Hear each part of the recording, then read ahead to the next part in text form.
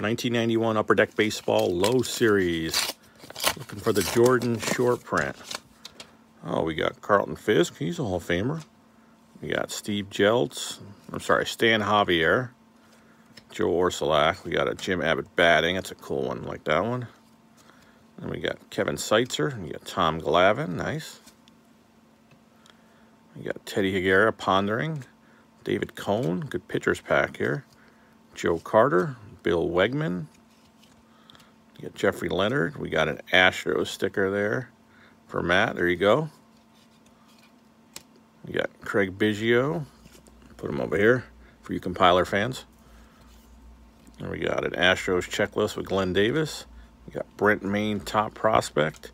And we end with Marquis Grissom. All right, could be worse. Still hot garbage. Thanks for watching.